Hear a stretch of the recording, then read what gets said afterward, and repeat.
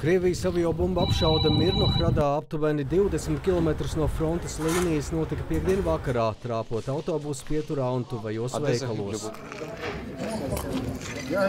Рабочий день закончился, то есть Darba diena bija beigusies, sāku tīrīt grīdas, pienāca draudzene pie durvīm un dzirdējām ļoti skaļu un baisu troksni. Viņi man kliedz, lai guļos. Pirmais sprādziens, tad uzreiz otrais, nesa gan ievainotus, gan mirušus.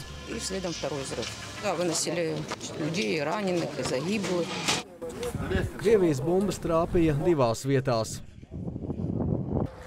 Cietusi arī vietējā skolas ēka. Ночью охранять. Ну, пошкодження ви бачите вже які. Вибито дуже багато вікон. Postījumus paši redzat. Iki plastika Daudz logu vilni, izsist. novī, Tikai pirms лише diviem пару gadiem років uzlika. назад всі Durvis поставили. izpostītas, Двері izlidojušas зруйновані, tāpat kā вибиті. logi. Залізні, мабуть, двері винесені разом з шибками. Вибуху було знайдено осколки. Policijas sprādziena vietā atrada Krievijas aviācijas bumbas atlūzas. Pēdējos mēnešos frontes līnijas spiežas ar vien tuvāk Mirnohradai.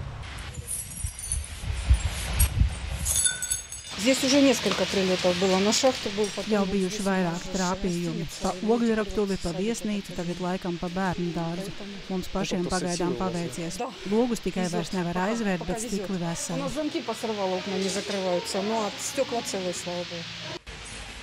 Tomēr arī šeit triecieni kļūst biežāki. Gins Amoliņš, Latvijas televīzija.